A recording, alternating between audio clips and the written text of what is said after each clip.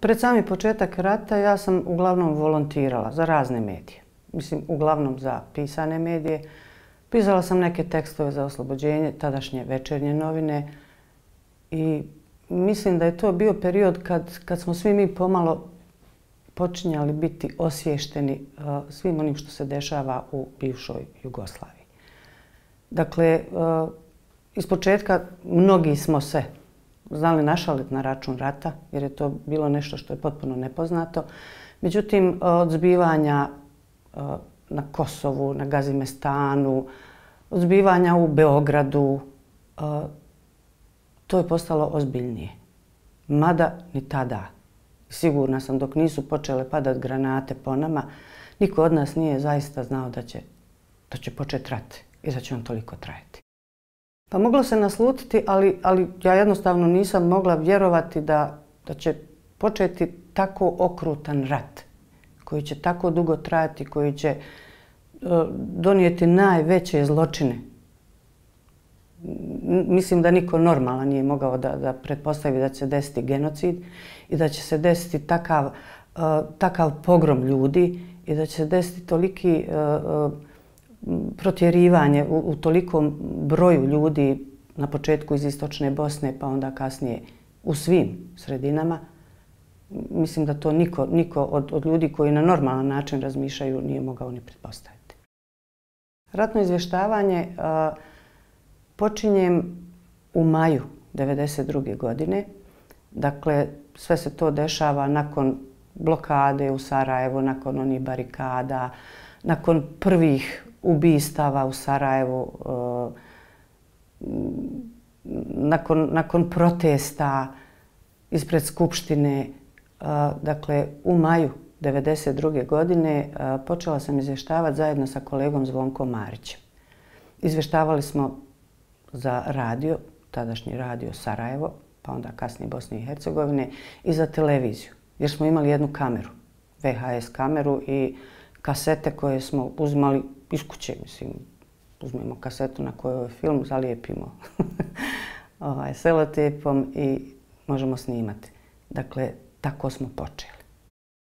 Na teren smo moram uvijek kazati, išli Zvonko Marić i ja u početku, zato što je, uh, nam se još nije pridružio bio kolega Emir Morina. On je tada još bio u Hadžićima, jer nije mogao izaći iz Hadžića. Zvonko Marić i ja išli smo prije svega na Igman, Bjelašnicu, Treskavicu, naravno i na jug. Konjic, Jablanica i dalje po planinama okolo, pa onda prema prozoru. Prozor je posebno specifičan kad je riječ o ratu i, i onome što smo mi doživjeli. Dakle, to su bili prvi i stalni tereni. Mislim da smo najviše vremena i proveli na terenu upravo zbog toga što nismo željeli da nam neko kaže šta se dešava, nego da mi to vidimo, snimimo i objavimo. Da objavimo na radiju i da objavimo na televiziji. Jeste li izvještavali odavde iz grada? Iz grada ne. Iz grada smo izvještavali oboje a, tek kada su počele a, kako se to zove, reintegracije općina, pa smo išli, ne znam, Hadžića ili Dže. Ja sam poslana na Mrkoviće, recimo kad je to bilo ne baš tako bezazleno, ali eto. Prozor je specifičan po tome što smo uspjeli ući u prozor tek u drugom navratu sa našom pregovaračkom misijom, dakle ljudi iz armije Republike Bosne i Hercegovine, zatim e, general Praljak. I prvi put smo pokušali tako ući, ali mislim nije bilo moguće i samo smo od nekud sa nekakvih brda mogli slušati i dijelom gledati eksplozije u gradu. Specifično je to što se to dešavalo krajem oktobra i početkom novembra 1992. godine, kada ovdje još niko nije proglasio da je počeo sukob sa HVO-om. Mi smo ušli, dakle, u prozor Odmah su nam dali oni koji su nas primili e, pratnju jednog čovjeka. Srećom nas je bilo troje. Jedan čovjek ne može nikako troje ljudi pratiti. Grad je bio opustošen, porazbijan, e, rukom spaljene kuće, jer jedna kuća koja pripada Bošnjaku do kuće koja pripada Hrvatu je spaljena, a ova nije. Dakle, takve se stvari dešavale. Teško je bilo doći do informacija, ali mi smo na sve moguće načine pokušavali, pa smo tražili da, da, da razgovaramo sa hođom. E, I doveli su nam ga. Čovjek je očito bio u zatvoru. I bili smo u istoj prostoriji. I onda smo rekli Emiru da on izađe, ovaj, samo da snimi džamiju koja je ostavljena cijela, dakle nije bila razrušena, nije bila spaljena. I onda smo Zvonko i ja uspjeli od hođe dobiti neke podatke, prije svega ono što on zna, a to je koliko je dženaza klanjao u tom periodu. I na taj način smo skupljali informacije. Kad smo izašli, ovaj, naše pregovaračke emisije nije bilo, oni su otišli ne znam, trebam reći da su pobjegli. Ostavili su nas troje i onda smo uhapšeni. Uhapšili, uhapsili su nas pripadnici Crne legije. Naravno, maltretirani smo, uzeli su nam materijal koji su na kraju opet nekako na kraju tog dana nam vratili i uspjeli smo od tog materijala napraviti reportažu. Pa u početku je bilo sve nepoznato, tako da nije bilo ni nekog straha poslije znaš u šta ideš, ali ideš i dalje zato što smo cijenili ono što ti ljudi rade. Svi ti momci, svi ti odrasli ljudi su branili i mene, isto kao što je moj brat branio nekog ovdje u gradu. Dakle, to je bilo nešto što me motiviralo. A s druge strane, naš dolazak na teren i naš dolazak među ljude, ne mogu reći u rovove, jer nije tada bilo ni rovova, negdje u nekakve šume, na nekakva brda, tim ljudima je značio mnogo. Koliko god to sad patetično možda zvučalo, oni su znali da mi cijenimo to što oni rade. Dakle, oni su se borili sa puškama i ono malo oružja što su imali, a mi smo to što se dešava prenosili u svijet, davali sliku o tome što se dešava, ne bi li, ne bi li neko zaustavio taj rat. I jednostavno smo imali zaista uvijek ovaj, izuzetno dobar prijem, da je naravno smetalo ljudima kad recimo dođem u žutoj majici pa ono, pa svide od ozdo. Pa su nam ponekad ovaj, rekli da će zabraniti pa nam davali da, da navučemo preko svoje, svoje odjeće nešto što ima neke detalje kao maskirna uniforma, ali to, to je nešto sasvim drugo. Dakle, na terenu se stvari dešavaju tako da, da, da moraš učestovati. Znalo se desiti da da odemo negdje i da se digne magla od nekud i da ja pitan kakav je ovo zid, pa kaže to je tehnički remontni zavod u Hadžićima. Nije bilo ni malo prijatno, ali eto. Pa mislim da je svakoga strah. I mislim da taj osjećaj straha dugo vremena nije prošao nikod koga. To je onaj osjećaj kad, ima, kad su vam ramena malo podignuta i nešto iščekujete. Da će se desiti, da će puknuti. Naravno da mi je bilo strah i ali to nije bio strah koji isprečava da radim svoj posao. Dakle, to je bilo nešto što je sasvim normalno, što je, što je normalno. Dakle, bojiš se da ćeš biti ubijen, bojiš, će, bojiš se da ćeš biti uhapšen. Ali smo radili. A kad je riječ o sprečavanju, toga nije bilo, ali je bilo pokušaja da kažemo nešto što se nije desilo odnosno da kažemo nešto što nije tačno. E to nismo željeli i to nikad nismo učinili i zbog toga smo stalno bili na terenu. Dakle, e, nemoguće je da ja, kao što mi je svoje vremeno jedan visoki oficir armije, pokušao narediti da objavim nešto što nije istina. Da objavim nešto da je jedinica zauzela neku kotu Ja znam da su oni tu bili prethodne večeri i znam da su četvorica ljudi poginuli, odnosno ubijeni i znam da je među njima uh, brat jednog koji je preživio i koji je u četiri ujutru došao do vrata tog visokog oficira da ga zajedno sa svojim kolegama moli da ih puste, uh, da odu da izvuku tijela tih ubijenih, ali ih on nije primio. A meni je tog istog jutra, pokušao narediti da ja objavim da smo jeli, da, su, da su naši vojnici, naši pripadnici armije Republike Bosne i Hercegovine osvojili tu kotu. Ja sam rekla da ja to nikad neću uraditi. I nisam to uradila i znala sam čemu se izlažem, ali eto, na svu sreću nije bilo nekih većih posljedica. Ja sam nažalost, u ovoj državi ostali. Dakle, to je uh, nešto što je u mom habitusu. Ja sam tako odgojena. Eh, ja nikad nisam na taj način razmišljala. Ja jesam imala problem u prozoru kada smo uhapšeni. I kada mi jedan od tih pripadnika Crne legije, dakle opet se vraćam na taj događaj, eh, kada je rekao za Zvonka Marića da on nije nikakav Hrvat. Kada je za Emira rekao da je Emir Morina jedini na pravoj strani, a da sam ja najgora. I da će me tog momenta ubiti. I ja sam tad prvi put u životu vidjela e, nitroglicerinku. To je puška sa jako velikim onom cijevi kojom se može uništiti tank. I on ju je u mene uperio. Pitao me šta sam po nacionalnosti i ja mu rekla da sam ja ninja kornjača. I kaže čovjek, sad ću te ubiti, pa ne moraš time upotrebi za nešto drugo, u meni čvoku da opališ, ja sam gotova. Ali eto, nije me ubio. Dakle, e, tu vrstu problema sam imala, uvijek sam imala probleme sa fašistima. Dakle, uvijek sam imala probleme sa fašistima i uvijek ću ih imati. A sa normalnim ljudima ne. Ja o tome ne mogu govoriti, zato što smo mi zadatke davali sami sebi. Dakle, mi smo bili izmješteni iz Sarajeva, mi smo bili s one strane Igmana i Zvonko, Emir i ja smo išli na teren onako kako smo mi uh, mislili da treba, mislim da smo ispravno radili.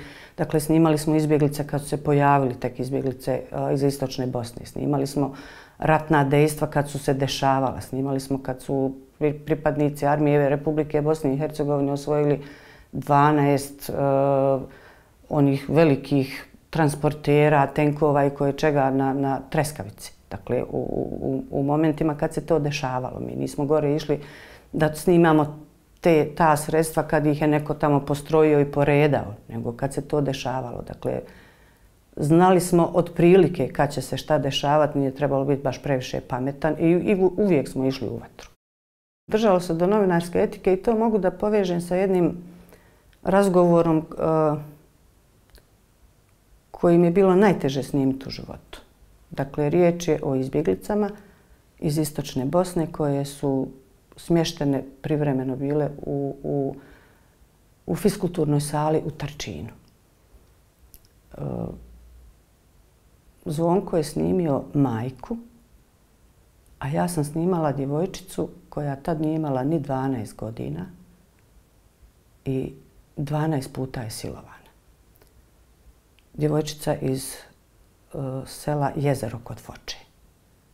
To je djevojčica koja je bila toliko mršava, koliko, koja, je, koja nije ličila na, na, na ništa što podsjeća na ženu. Dakle, govorim zbog toga što je to bilo dijete. I kad sam razgovarala s njom, eh, ja, nisam, ja jednostavno nisam mogla pretpostaviti šta je to dijete se preživjelo. Kad mi je rekla da je uh, devet puta silovana u Foči, pa je zastala i onda rekla, a samo dva puta. Kalinoviku ili u Trnovu, ne sjećam se više. To je strašno. E, to je snimljeno u septembru 1992. godine i taj snimak smo naravno poslali sa Bjelašnice linkom na televiziju Sarajevo i nisu ga objavili. Onda smo ponovo se gore popeli, pitali zbog čega. E sad, tu je ono pitanje etike. Mnogi u redakciji su e, uh, raspravljali o tome na koji način to plasirati u javnost. Ne samo novinari, ne samo urednici, konsultovali su i, i vjerske poglavare, i, dakle, i psihologe, i sve koji, koji mogu imati veze s tim. I odlučili su da to puste onako sirovo kako jeste snimljeno. I mislim da su bili u pravu. A, u pravu su bili zbog toga što su taj materijal prenijele sve moguće televizije na svijetu koje su željele da pokažu i tu užasnu stranu rata. A nakon toga kada je formiran Haški tribunal, dakle do tada ga još nije ni bilo, taj materijal je korišten naravno u suđenjima i između ostalog, zahvaljujući tome, silovanje je priznato kao ratni zločin. Dakle, do tada silovanje nije postojalo kao ratni zločin u međunarodnom pravu. I da, da, da ništa drugo nisam uradila u ratu, mislim da je to vrijedilo. Bilo je teško, bilo je užasno, ali mislim da je, da je vrijedilo. Dakle, opet smo se vratili na etiku. U ovom, u, u ovom momentu uh, mislim da je to bilo u redu, ali isto tako mislim da tu osobu koju poznajem, čije ime ja neću kazati, ovaj, nikada na taj način ne bih ponovo izlagala javnosti. Bilo je pokušaja. Dolazile su kolege iz raznih kuća, iz različitih država i tražili su od mene to. Ja, ja nisam željela da učestvujem u tome, jer to je već bilo previše. Bilo bi previše. To dijete je trebalo ostaviti na miru. Pomagala sam joj kasnije, i njoj i njenoj porodici koja je svašta preživjela, a nikad joj to nisam rekla. Mrzilački narativi nisu bili dovoljno prepoznati, odnosno neko nije želio da ih prepozna. Ne govorim samo o, o, o Bosni i Hercegovini, o državi Bosni i Hercegovini, govorim o svijetu. A, svak ko, ko se imalo bavi čitanjem, dakle ne mora biti ni novinar, ne mora biti ni pisac, ne mora biti ni pravnik, ko se bavi čitanjem mogao je da pročita, ako ništa po onim sedmičnim listovima koje smo mi svi redovno čitali, ovaj, šta se to zapravo dešava. I ne može sve odjednom postati mm, jednog naroda. Do toga da je, ne znam, vazduh srpski, da je rijeka srpska, da je ne znam šta srpsko. Isto tako, nemoguće je da uh, cijeli svijet ne prepozna šta to može da prouzrokuje. To je nemoguće. Svi su to prepoznali, ali nisu reagovali. Zbog čega, to je već na njima da odgovore. Naravno da to pomaže. Sad, e, na koji način se toga riješiti? Mislim, mi to moramo pokazati. Novinari su tu da pokazuju ono što se dešava. Je li tako?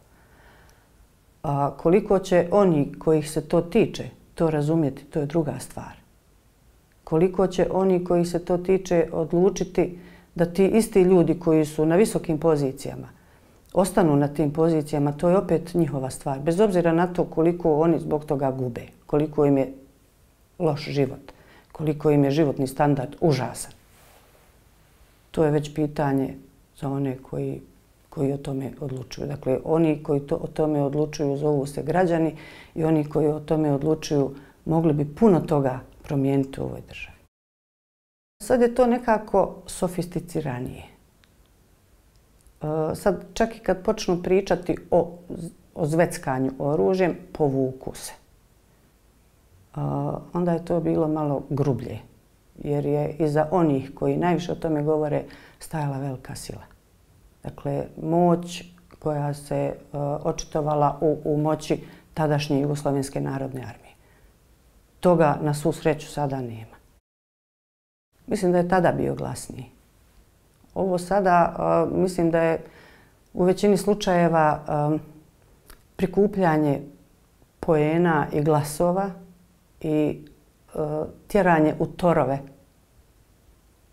zapravo samo radi svoje koristi.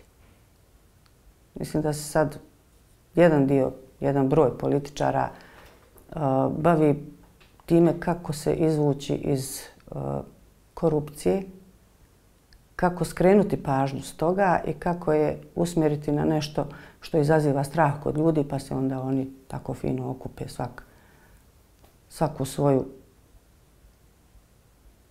u svoj tor. Svaki rat je zapravo pljačka. I taj spoj nikad ne prestaje.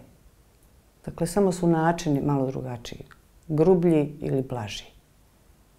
Dakle, e, svaka mržnja koja izazove eventualno drugu mržnju dovodi do straha, a u tom strahu oni koji izazivaju jednu, drugu, treću ili petu mržnju mogu da rade šta hoće. Nije se dogodilo ništa. Sve, sve to isto. Dakle, e, kad pričamo o ratu, e, nije, nije to samo pucanje da bi neko nekog ubio. To je, to je rezultat i to je strašno, to je užas. Ali osnovni ciljevi rata uvijek su u svijetu bili isti. Osvojiti nešto. Je tako? Mediji u nekim situacijama mogu mnogo da doprinesu u širenju mržnje.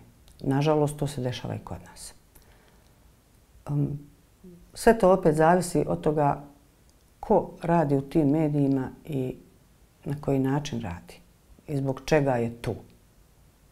Dakle, ja govorim o, o kući u kojoj ja radim, dakle to je nekad bila televizija Sarajevo, pa televizija Bosne i Hercegovine, pa sada federalna televizija.